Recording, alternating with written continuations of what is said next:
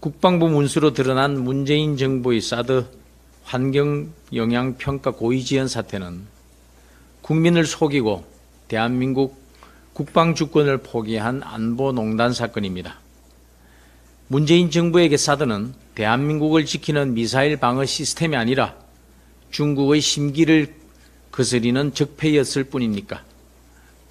도대체 누구의 지시로 이런 안보 농단이 벌어졌습니까?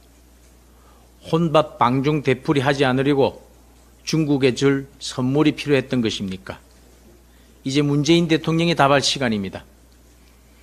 감사원은 성역 없는 감사로 진상을 낱낱이 규명해야 합니다. 필요시 검찰 수사를 통해서라도 진실을 밝혀내야 할 것입니다.